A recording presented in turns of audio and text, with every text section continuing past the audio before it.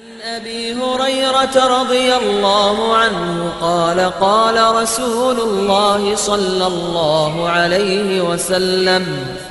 إن الله تعالى قال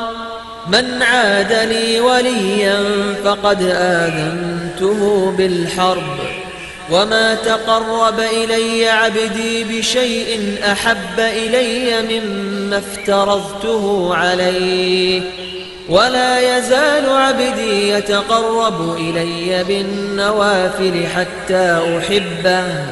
فإذا أحببته كنت سمعه الذي يسمع به وبصره الذي يبصر به ويده التي يبطش بها ورجله التي يمشي بها. ولئن سألني لأعطينه